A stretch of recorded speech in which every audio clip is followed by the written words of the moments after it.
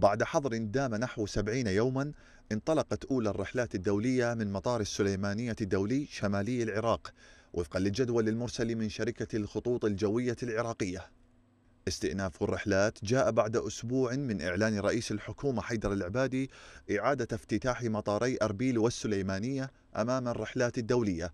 بعد قرار الحكومة في بغداد غلق أجواء المطارين على خلفية استفتاء انفصال كردستان العراق في الخامس والعشرين من أيلول الماضي. كل من القائمين على المطار والمسافرين في أول رحلة إلى العاصمة الأردنية عمان عبروا عن سعادتهم بانفراج الأزمة التي ألحقت الأضرار بالمسافرين وبموظفي قطاع النقل في كردستان على حد سواء.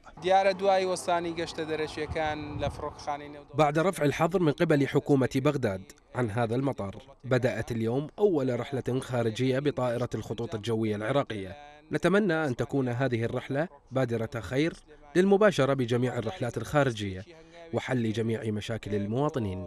من وكو مسافرك زور زور خوش حالم. إنه حدث مهم. بانفراجة الأزمة الاقتصادية والسياسية وعودة الرحلات الخارجية وتقديم الخدمات للمسافرين بصورة جيدة وتقليل المصروفات والاستفادة من الوقت. أنا سعيد لأنها بادرة جيدة للجميع.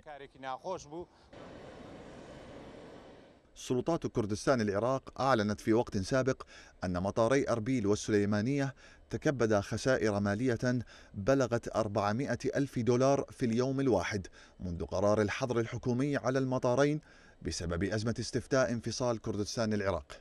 سلطات مطاري أربيل والسليمانية تحدثت أيضا عن مطالبات مالية بلغت نحو 55 مليون دولار كديون على الخطوط الجوية العراقية.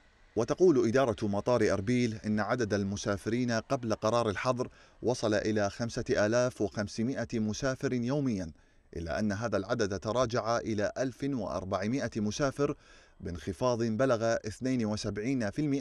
في غضون شهرين فقط.